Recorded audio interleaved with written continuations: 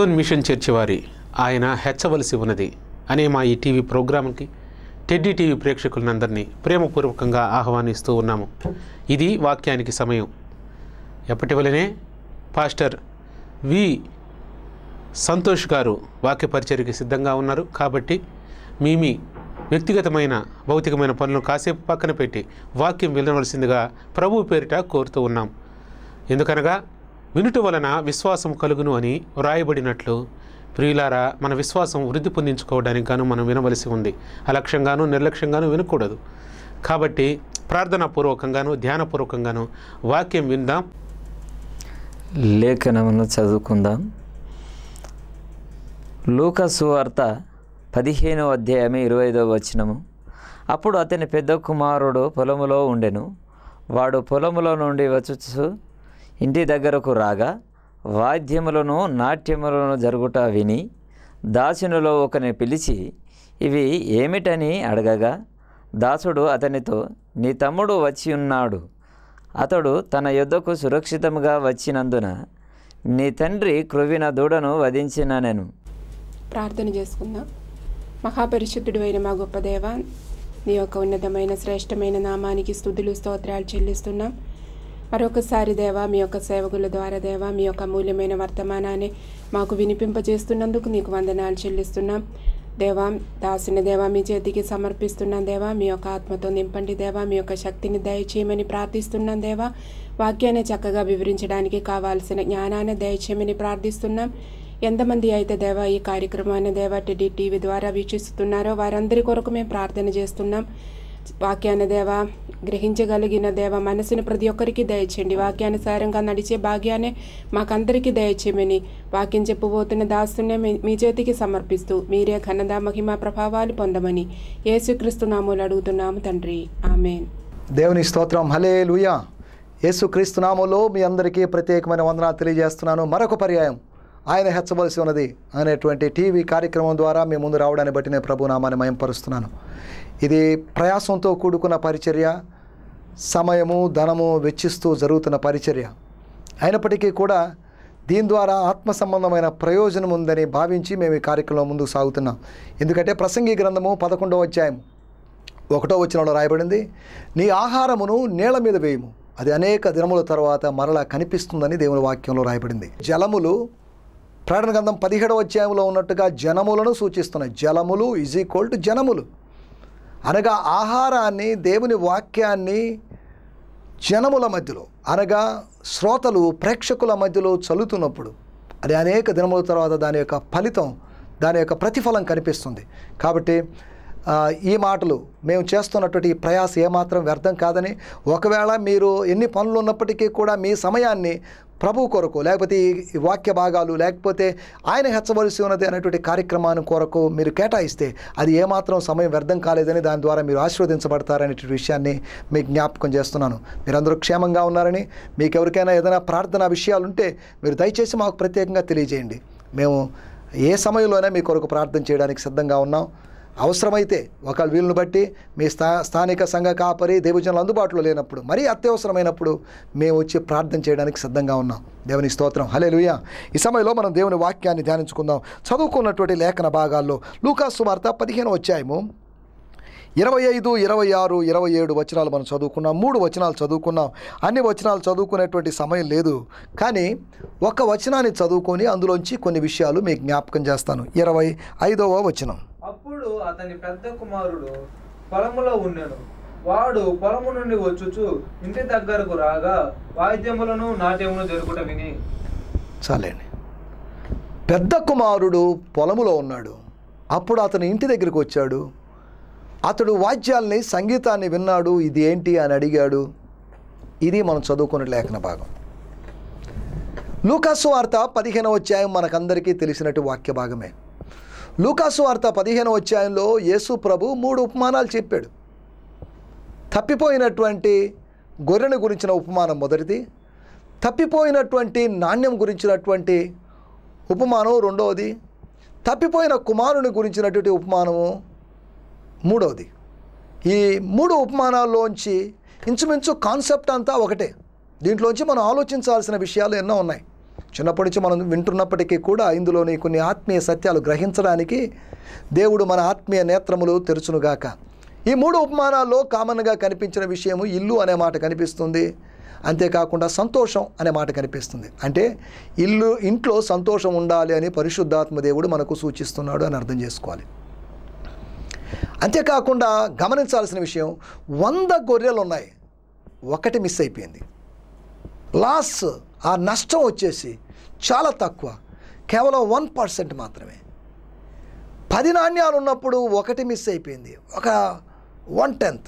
లేకపోతే పదవ శాతం టెన్ పర్సెంట్ మాత్రమే నష్టం. కానీ ఇద్దరు కుమారులు ఉన్నారు. ఒకడు తప్పిపోయాడు. అనగా నష్టము ఫిఫ్టీ పర్సెంట్. అంటే యాభై శాతం నష్టం ఉంది.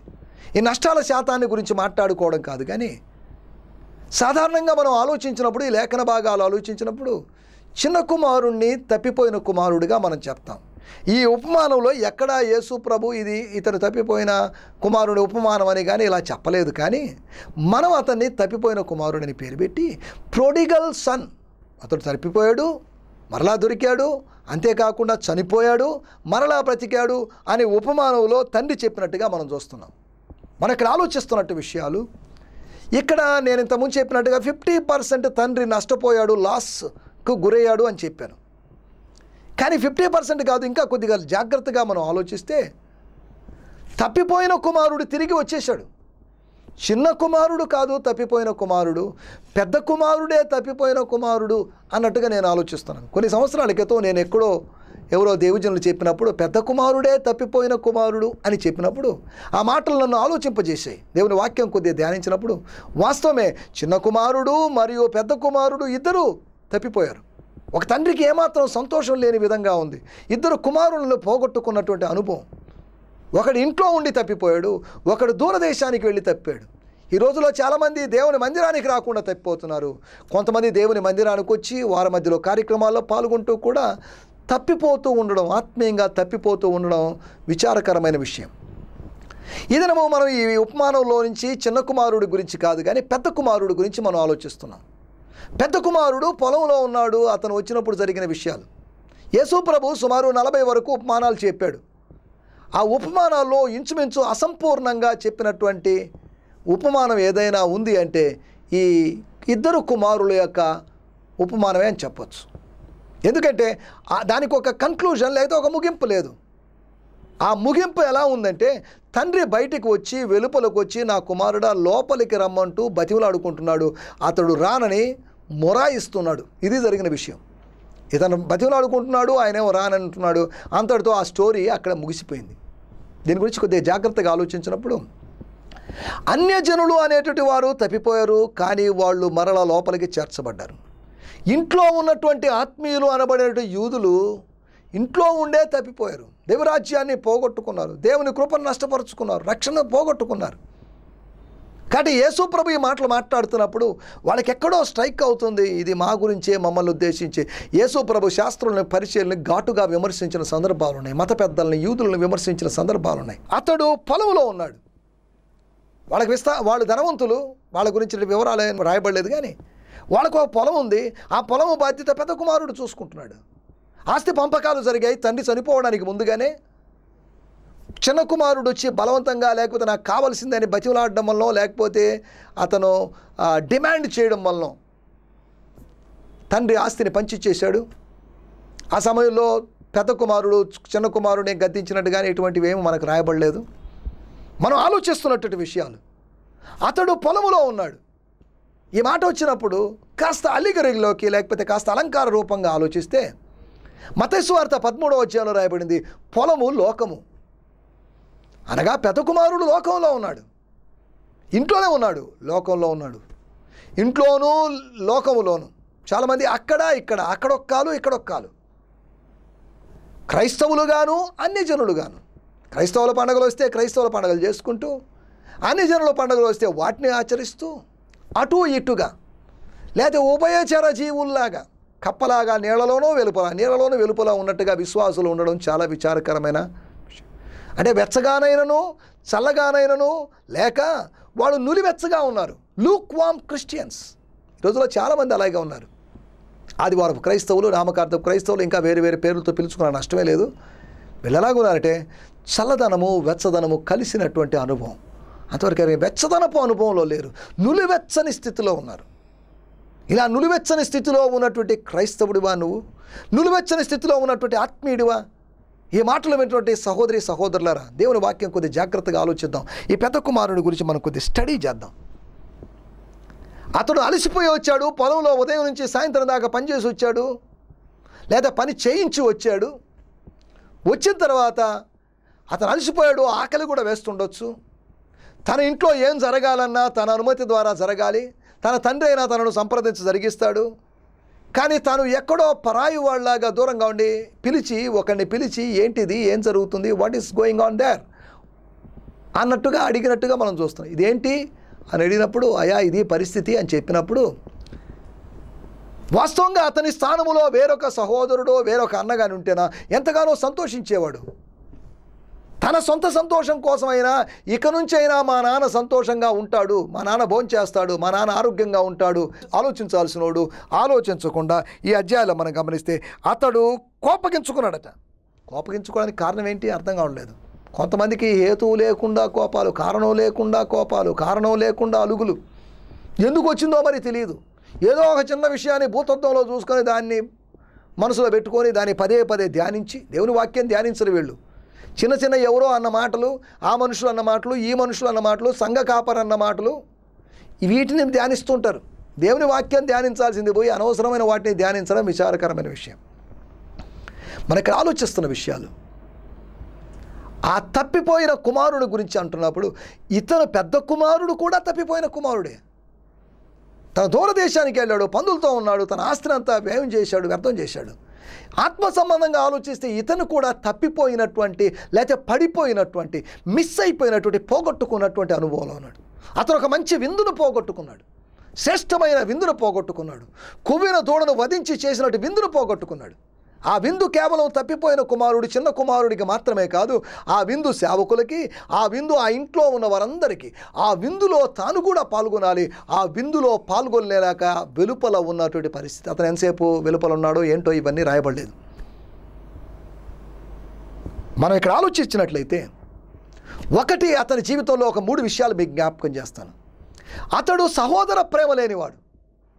ఈ రోజుల్లో సంఘాల్లో సహవాసాల్లో ఉన్నవాళ్ళు బ్రదర్లీ లవ్ లేదు. సహోదర ప్రేమ అనడానికి గ్రీకు భాషలో ఒక మాట వాడారు. ఫిలడెల్ఫియా అని అన్నారు ఫిలడెల్ఫియా అంటే సహోదర ప్రేమ బ్రదర్లీ లవ్. సహోదర ప్రేమలో మనం ముందుకు సాగాలి. సహోదర ప్రేమ నిలువరముగా ఉండనీయుడి. సహోదర ప్రేమ అధికంగా ఉన్నట్టయితే సహోదరి ప్రేమ అధికంగా ఉన్నట్టయితే సంఘాలు అభివృద్ధి చెందుతాయి ఈ రోజుల్లో ఒకరంటే ఒకరికి పడని పరిస్థితులు. ఎంత విచారకరమో చూడండి. బ్రదర్లీ లవ్ మన సంఘాల్లో ఉందా? అరే చాలా దినాల తర్వాత నా తమ్ముడు వచ్చాడు కదా వాడిని చూద్దాం వాడు ఎలా ఉన్నాడో ఏంటో వాడిని పోయి మందలించాలి వాడిని గద్దించాలి అని ఆలోచించాల్సినటువంటి ఆ పెద్ద కుమారుడు ఆయన వెలుపలే ఉండిపోయాడు. సహోదర ప్రేమ లేనటువంటి సహోదరులు. పేరు సహోదరులే కానీ సహోదర ప్రేమ లేదు. కపట సహోదరులుగా జీవిస్తుండడం ఫాల్స్ బ్రదర్లుగా జీవిస్తుండడం విచారకరమైన విషయం. దేవుని వాక్యంలో అందుకనే రాయబడింది మన విశ్వాసంలో పాటు ఉండాల్సినటువంటి కొన్ని ఏడు లక్షణాల గురించి రెండో పేతురు పత్రిక ఒకటో అధ్యాయం ఐదు ఆరు ఏడు వచనాలు మనం గమనిస్తే అక్కడ కొన్ని విషయాలు రాయబడ్డాయి.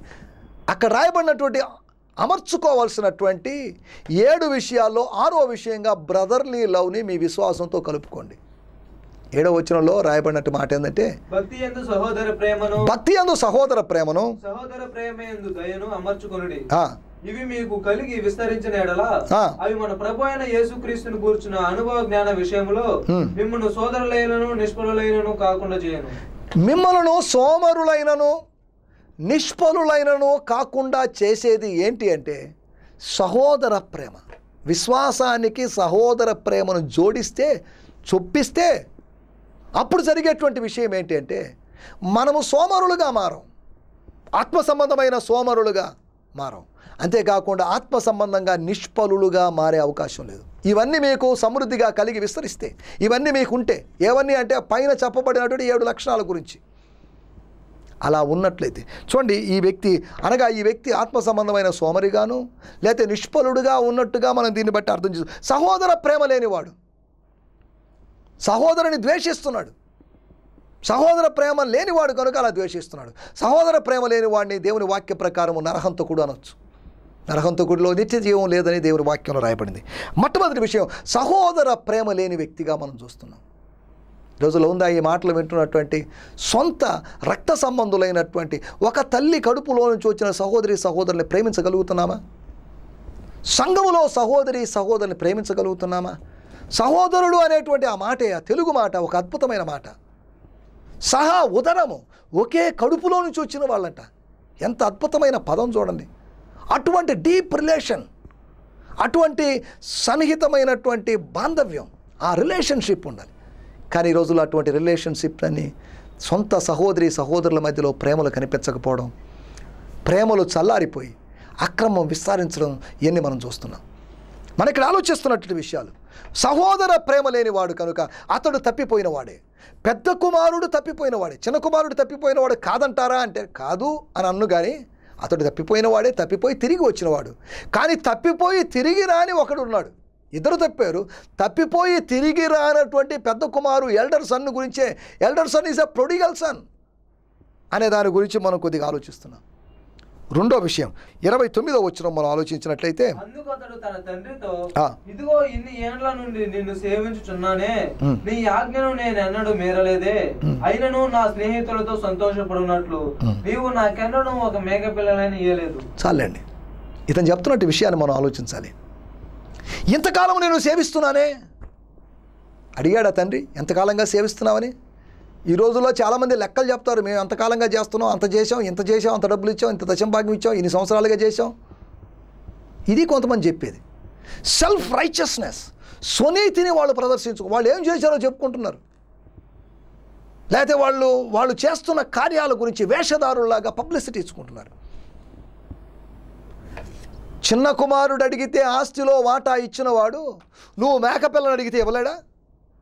దేనికంటే వాడికి మేకపిల్ల? చిన్న కుమారుడు తప్పిపోయి తిరిగి వస్తే కొవ్విన దూడను వధించిన వాడు తన పెద్ద కుమారుడు మేకపిల్లని అడిగితే మేకపిల్లని ఇవ్వలేడా? ఇక్కడ రాయబడిన మాట ఏంటంటే నా స్నేహితులతో సంతోషించున్నట్లు అనగా ఈయన సంతోషం ఏంటంటే లోపలి సంతోషం కాదు వెలుపలి సంతోషం. బయట సంతోషం.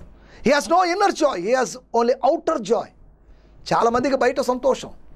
ప్రార్థనలో సంతోషం లేదు సహవాసంలో సంతోషం లేదు వాక్య ధ్యానంలో సంతోషం లేదు ఆరాధనలో సంతోషం లేదు ఎంతసేపటికి షాపింగ్లో సంతోషం హోటల్కి వెళ్ళడంలో సంతోషం వస్త్రాలు కొనుక్కోవడంలో సంతోషం లేదా బయటంత ఊరు ఆ ఊరు ఈ ఊరు పిక్నిక్లకి ఎక్స్కర్షన్లకి లేదా టూర్లకి తిరగడంలో సంతోషం. వెలుపలి సంతోషం కాదు లోపల సంతోషం. సంతోషం అనేది లోపలికి సంబంధించింది ఆంతర్యానికి సంబంధించింది అలాగే సంతోషం అనేది కూడా సహవాసానికి సంబంధించిందే కానీ సంతోషము సమాజానికి లోకానికి సంబంధించింది కాదు. లోకానికి తెలియదు సంతోషం. నిజమైన సంతోషం దేవుని బిడ్డలే అనుభవిస్తారు. నా స్నేహితులతో సంతోషించినట్లు. ఏ నీకు సంతోషానికి ఇక్కడ లోపమేమైంది అనేక మంది సేవకులు ఉన్నారు నీకు అధికారం ఉంది హోదా ఉంది స్థానం ఉంది. రమ్మంటే వచ్చేటువంటి సేవకులు ఉన్నారు పొమ్మంటే పోయేవాళ్ళు ఉన్నారు. ఇంత డబ్బు ఉంది ఇంత ఆస్తి ఉంది ఇంత పొలం ఉంది. నీకు సంతోషం లేకపోవడానికి కారణం ఏంటి? ఎన్నో వనరులు దేవుడు ఇచ్చినప్పటికీ కూడా చాలామంది అసంతృప్తిగానే ఉన్నారు. ఏదో పోగొట్టుకున్నట్టుగా ఏదో పొందుకోలేకపోయామో అన్నట్టు బాధలో ఉన్నారు. గమనించండి ఇక్కడ. ఈ మాటలు వింటున్నట్టు దేవుని బిడ్డలారా మీరు కూడా అలాగ ఉన్నారేమో. ఏదో అసంతృప్తి ఏదో పోగొట్టుకున్నామనేటువంటి భావన.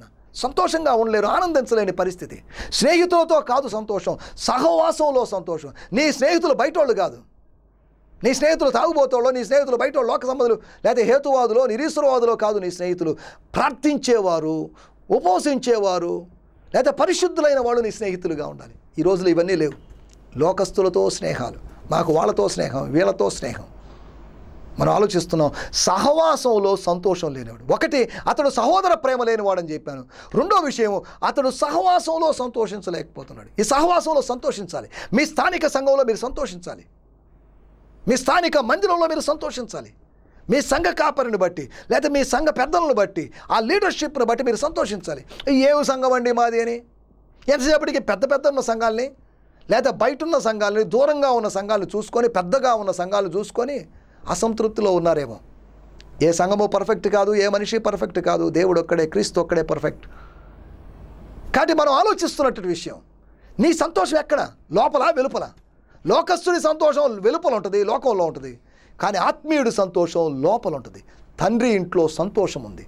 తప్పిపోయినోడు చెప్తున్నాడు తండ్రి ఇంట్లో సమృద్ధి అయిన ఆహారం ఉంది తండ్రి ఇంట్లో సమృద్ధి అని చెప్తున్నాడు. కానీ తప్పిపోకుండా ఉన్నవాడు మంచివాడు నమ్మకస్తుడు అయినవాడు అని చెప్పుకుంటున్నవాడు మాత్రం వాడికి సంతోషం ఎక్కడ దొరకలేదు. నిన్ను అనేక సంవత్సరాలుగా సేవిస్తున్నానే అని అన్నాడు.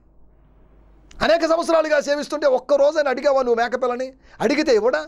తండ్రి అడిగితే ఇవ్వడా? కుమారుడు అడిగితే ఇవ్వడా? ఏమాత్రం ప్రశ్నించకూడదు నా కుమారుడు తీసుకుని ఆస్తిలో వాటా ఇచ్చినోడు ఇవ్వడా? రెండో విషయం అతని గురించి మనం ఆలోచించాం. అతడు ఏమాత్రం సహవాసంలో సంతోషం లేనివాడు. మూడో విషయాన్ని నేను మీకు జ్ఞాపకం చేస్తున్నాను. ముప్పై ఒకటో వచనంలో మనం గమనించినట్లయితే అందుకు అతడు కుమారుడా. చూడండి ఎంత మంచి విషయం చెప్తున్నాడు. తండ్రి ఎంత ప్రేమగా తగ్గి తనను తాను తగ్గించుకొని ధీరుడై తండ్రి అడుగుతున్న మాట. ఇదిగో నీవు నన్ను నాతో ఉన్నావు.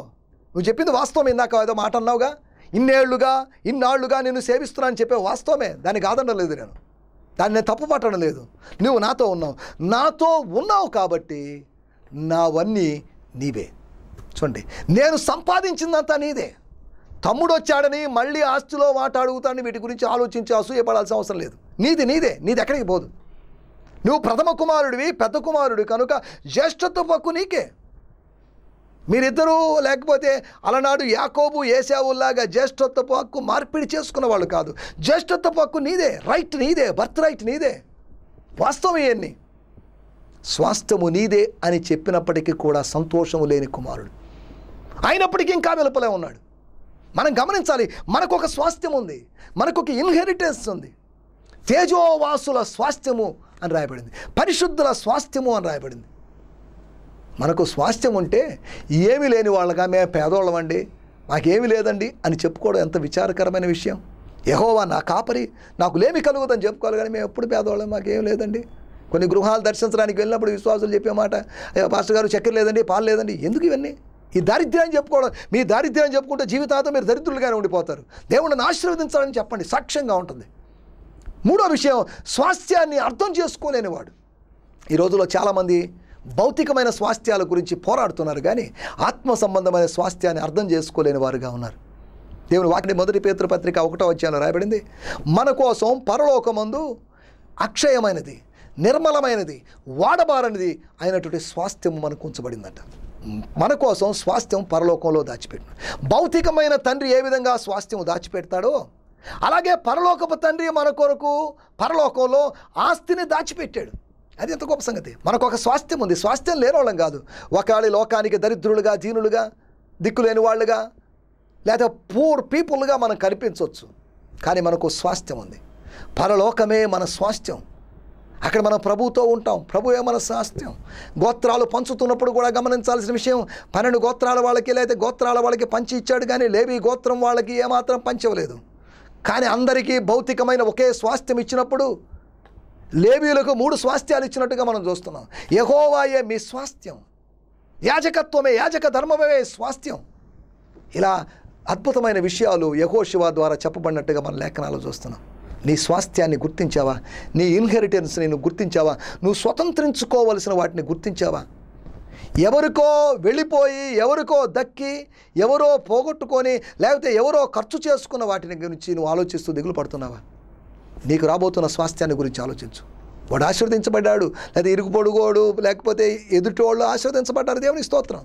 దాని గురించి కాదు నువ్వు కూడా ఆశీర్వదించబడతావు. ఆశీర్వదించబో దేవుడు నిన్ను ఆశీర్వదిస్తాడు అనే సత్యాన్ని నువ్వు మర్చిపోవద్దు. మనం ఇక్కడ ఆలోచిస్తున్న విషయం ఆ సహోదరుని గురించి లేకపోతే ఆ పెద్ద కుమారుని గురించి అతడు పెద్ద కుమారుడే తప్పిపోయిన కుమారుడు. అతడు తప్పిపోయాడు. పందుల మధ్యలో ఉన్నాడు. కానీ ఇతని ఆలోచనలు పందుల కన్నా ఘోరమైన ఆలోచనలుగా ఉన్నాయి. అతను వాటి మధ్యలో ఉండి లేదా పందులు తినేటువంటి పొట్టుతో తన జీవనం గడుపుకుంటున్నట్టుగా ఇతని పరిస్థితి కూడా ఇంచుమించు అలాగే ఉంది. చాలామంది ఇలాగే ఉన్నారండి. మనకి ఆలోచిస్తున్న విషయం ఒకటి అతడు సహోదర ప్రేమ లేనివాడని చెప్పాను. రెండోది మనం సహవాసంలో సంతోషం లేనివాడు. మూడో విషయం మనం ఆలోచించాం అతనికి స్వాస్థ్యం గురించి అవగాహన లేదు. స్వాస్థ్యాన్ని అర్థం చేసుకునేవాడు. నీకున్న స్వాస్థ్యాన్ని గురించి అర్థం చేసుకున్నావా? ఇతరుల అపార్ట్మెంట్లు చూసి ఇతరుల బిల్డింగ్లు చూసి కార్లు చూసి బహుగా దీవించబడ్డారనుకొని అసూయపడుతూ దిగులతో వ్యాఖ్యలు పడుతున్నావా? నో. నీకు స్వాస్థ్యం ఉంది. నా తండ్రి ఇంట అనేకమైన నివాసాలు ఉన్నాయి విశాలమైన నివాసాలు ఉన్నాయి పెద్ద పెద్ద భవంతులు ఉన్నాయి అన్నట్టుగా మ్యాన్షన్స్ ఉన్నాయి. రండి. నేను వెళ్తున్నాను నేను వెళ్ళి తిరిగి వస్తాను అని చెప్తే మనకి ఏమి లేనట్టుగా మనం భావిస్తున్నాం ఏంటి? మనకుంది. ఆయన్ని వెంబడించినప్పుడు మనం ఏదైనా పోగొట్టుకుంటే మరలా తిరిగి సంపాదించుకుంటాం. ఏమన్నా ప్రభువుని వెంబడించిన తర్వాత రక్షింపబడిన తర్వాత ఏమన్నా పోగొట్టుకున్నారా మీరు? పోగొట్టుకుంటే పర్లేదు నూరు రెట్లు అధికంగా పొందుకుంటారు. ఏమన్నా పోగొట్టుకోకపోతే ఏమన్నా సంపాదించుకోవాలని ప్రయత్నం చేస్తే నూరు రెట్లు పోగొట్టుకుంటారు. సంపాదించుకోవాలనుకుంటే పోగొట్టుకో పోగొట్టుకోవాలనుకుంటే సంపాదించుకో. ఈరోజు సంపాదించుకుంటున్న వాళ్ళు సంపాద వాళ్ళకి మిగలడం లేదు దాన్ని పోగొట్టుకుంటున్నటువంటి అనుభవంలో ఉన్నారు. కాబట్టి ఈ పెద్ద కుమారుడే తప్పిపోయిన కుమారుడు. కాబట్టి ఈ మాటలు వింటున్నట్టు వాళ్ళారా మీలో ఎంతమంది తప్పిపోయిన కుమారుడి అనుభవంలో ఉన్నారు? ఒకవేళ సహోదర ప్రేమ లేకపోతే నీకు ఒక కొత్త పేరు పెడుతున్నాడు దేవుడు. నువ్వు తప్పిపోయిన కుమారుడివే. నీకు సహవాసంలో సంతోషం లేకపోతే నీకు ఒక కొత్త పేరు పెడుతున్నాడు దేవుడు. నువ్వు తప్పిపోయిన కుమారుడివే. అంతేకాకుండా నువ్వు స్వాస్థ్యాన్ని గురించిన అవగాహన లేనివాడిగా ఉంటే నీకు ఒక కొత్త పేరు. నువ్వు తప్పిపోయిన మూడు విధాలుగా నువ్వు లేకపోతే తప్పిపోయిన కుమారుడిగా ఉన్నావు అనే విషయాన్ని లేఖనం జ్ఞాపకం చేస్తుంది. ఎంతసేపటికి చిన్న మీద చిన్న కుమారుడి మీద బురద చల్లి అతన్ని తప్పిపోయిన కుమారుడిగా ముద్ర వేశాం అతడు తప్పిపోయి తిరిగి వచ్చిన కుమారుడు. తప్పిపోయి తిరిగి రాని కుమారుడు పెద్ద కుమారుడు. చాలామంది తప్పిపోయి తిరిగి వస్తున్నారు. నువ్వు తప్పిపోయి అలా పడిపోయిన స్థితిలోనే ఉన్నావా? తిరిగి రాలేని స్థితిలో ఉన్నావా? ఈ సమయంలో ఈ మాటలు వింటున్నప్పుడు నువ్వు తిరిగి రమ్మని దేవుడు పిలుస్తున్నాడు. నువ్వు పెద్ద కుమారుడువైనా చిన్న కుమారుడువైనా నువ్వు దూరదేశం వెళ్ళా దగ్గర దేశంలో ఉన్నా సమీపంగా ఉన్నా కానీ దేవుడు నేను పిలుస్తున్నాడు. రా దగ్గరికి. సమీపంగా రా. విందు సిద్ధపరిచింది. భోంచేయి. సంతోషిద్దాం. మనం సంతోషించి ఆనందించుట యుక్తమే.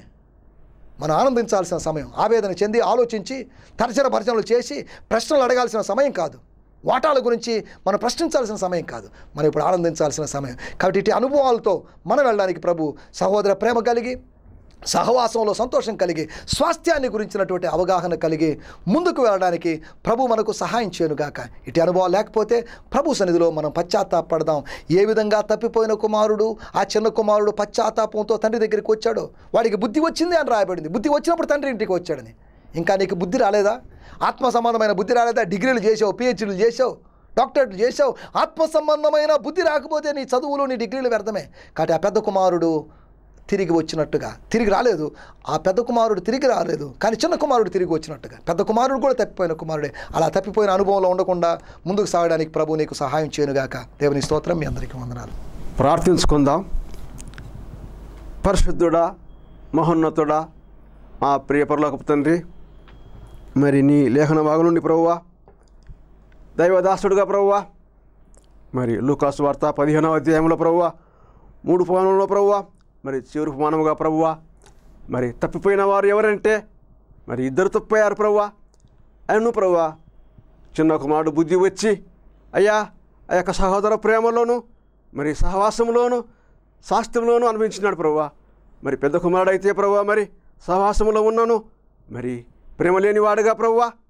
ఉన్నట్లుగా మేము విన్నాము నాయన మంచిత ప్రకారంగా ప్రవ్వా. మరి సహోదర ప్రేమ కలిగి మరి సహవాసం కలిగి వారసత్వాన్ని నిత్యత్వాన్ని ప్రవ్వా పోగొట్టుకోకుండా ప్రవ్వా. మేము జీవించలాగున మీరే మీ యొక్క పరిశుద్ధాత్మ శక్తి ద్వారా విన్నవారిని ప్రవ్వా. మరి నీ వైపునకు త్రిప్పి నీ యొక్క రాజ్యంలో చేరుటకు నీ యొక్క ఆత్మ ద్వారా మరి తాకుమని ప్రతి వారికి మారుమనసు దయచేయమని మరి దయదాసులను ప్రభువా ఇంకొన్ని నిశ్చితానుసారంగా వాడుకోనమని మీరే సమస్త ఘనత మహిమ ప్రావణ పొందుమని యేసుక్రీస్తు నామమున ప్రార్థన చేస్తున్నాను తండ్రి. ఆమెన్. వాక్యం విని ఉన్నాం.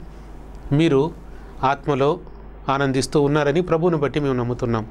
అనేకులు మాకు ఫోన్ చేసి వారు తమ హర్షాన్ని వ్యక్తం చేయడాన్ని బట్టి కూడా మేము ప్రభువుని మహిమపరుస్తూ ఉన్నాం. ప్రియమైన వారులారా మా ఈ ఆయన హెచ్చవలసి ఉన్నది అనే కార్యక్రమం టెడ్డీ టీవీలో ప్రతి సోమవారం సాయంత్రం ఆరున్నర గంటలకు అదేవిధంగా ప్రతి బుధవారం రాత్రి తొమ్మిదిన్నర గంటలకు మరియు ప్రతి శుక్రవారం రాత్రి ఎనిమిదిన్నర గంటలకు ప్రసారం అవుతుంది ఈ కార్యక్రమాల కోసం మీరు తప్పకుండా ప్రార్థన చేయండి.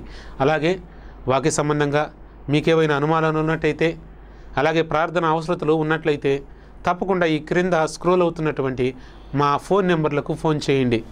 ప్రభువు కృప మీకు తోడయుండునుగాక ఆమెన్.